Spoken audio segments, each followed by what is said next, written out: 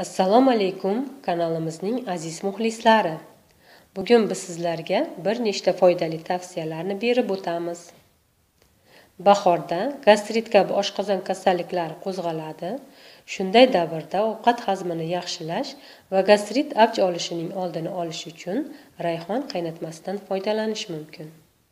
Buning uchun bir ikki choy qoshiq o'simlik bargiga quritilgan ham bo'ladi 250 ml qaynoq suv quyiladi va past olovga qo'yilib 15 daqiqa qaynatiladi.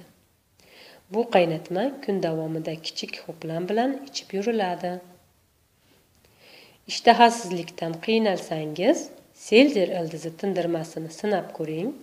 Uni tayyorlash uchun bir osh qoshiq maydalangan ildizga 1,5 stakan qaynab turgan suv quyiladi va 4 soat tindiriladi.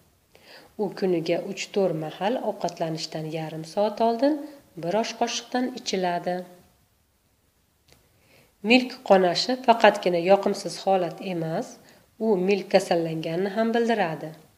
Uni davolash uchun tirnoq gulli damlama bilan og'izni chaying.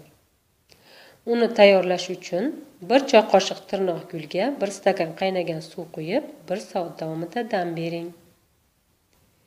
Milk qonashida yana bir usul. Bir osh qoshiq qizil poychaga bir stakan suv quyib 5 daqiqa qaynating. So'ng u soviguncha dam bering. Keyin esa suzib olib og'izni chaying.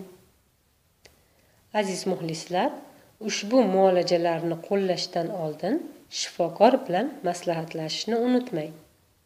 Kanalimizga a'zo bo'ling layk bosing va izoh qoldiring.